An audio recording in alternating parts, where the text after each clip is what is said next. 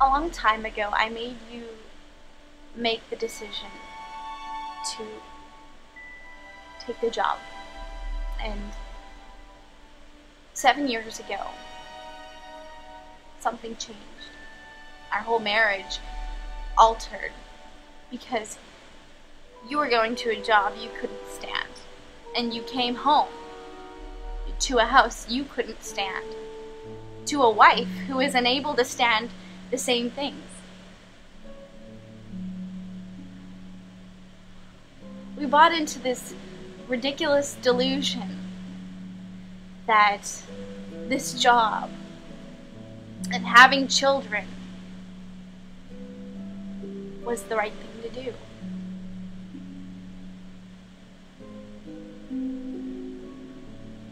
And I loved you.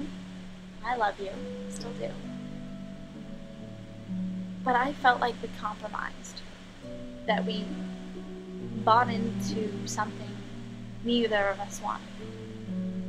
So, I'm giving you the chance to rewrite.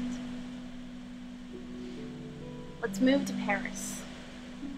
Let's learn French.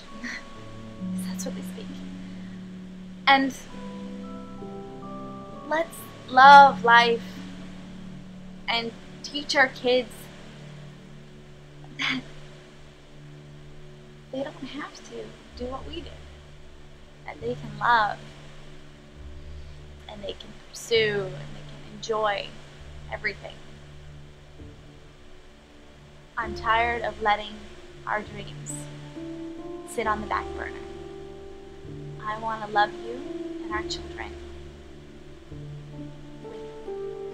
every fiber of my being.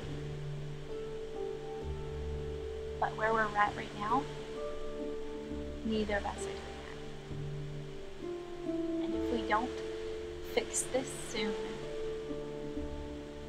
I'm afraid we're going to go so far apart that we won't even know who each other are anymore.